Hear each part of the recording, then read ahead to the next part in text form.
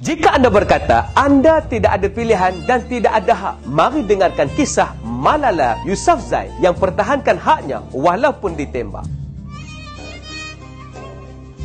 Assalamualaikum. Kami akan terus berkarya dan menyampaikan ilmu dengan baik. Terima kasih kerana terus menyumbang. Pada tahun 2008, Taliban telah mengambil alih lembah Swat di bahagian terpencil timur laut Pakistan. Setelah berjaya menawar lembah itu, mereka terus melaksanakan agenda ekstrim mereka. Tak boleh ada TV, tak boleh ada movie, orang perempuan tidak boleh keluar dari rumah tanpa ditemani mahram dan yang paling teruk, wanita tidak dibenarkan pergi ke sekolah. Pada tahun 2009 ada seorang budak perempuan namanya Malala Yousafzai bangun menentang larangan tersebut. Dia hadir ke sekolah dan tidak mempedulikan larangan itu. Dia tulis di online, How dare the Taliban take away my right for education? Pada tahun 2012 dan masa itu umur Malala sudah berusia 14 tahun, askar Taliban dengan muka tertutup menahan bas sekolah yang dinaiki olehnya. Askar yang membawa rifle itu masuk ke dalam bas dan bertanya, siapa Malala? Bagi tahu cepat cepat. Kalau tak, nanti aku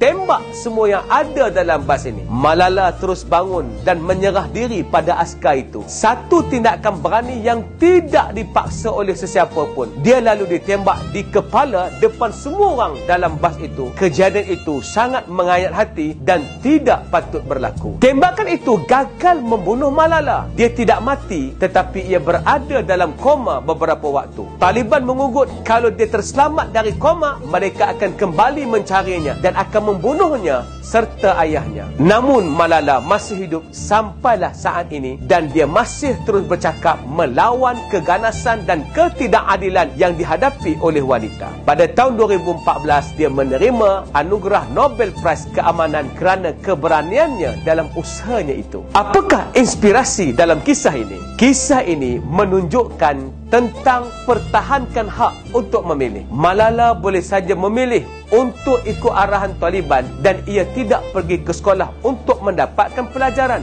Boleh saja ia kata, buat macam mana, kita tak ada pilihan. Kalau kita lawan juga, ia bahaya untuk kita. Tetapi ia memilih untuk tidak bersetuju dengan larangan itu dan melakukan sebaliknya. Walaupun nyawa yang menjadi taruhan. Tembakan Taliban itu tidak melemahkannya, bahkan menjadikan ia semakin kuat dan menyebabkan orang ramai bersama dengannya. Ya, ia boleh terbunuh kerana itu, tetapi baginya, apa guna hidup jika kehendaknya dan haknya terhalang? Hari ini, ramai di kalangan kita bermain sikap play victim, menjadikan diri sebagai mangsa keadaan. Mereka suka dilihat sebagai golongan tertindas. Ingat kata-kata ini, strong woman don't play victim, don't make themselves look pitiful and don't point fingers. They stand and they deal. Men they have. Malala mewakili wanita dan mereka yang berani memilih dan bersuara. Ayuh, bangun untuk fight for something yang Islam percaya anda berhak ke atasnya. Jadilah seperti Malala di tempat anda. Terus kuat untuk memilih dan mempertahankan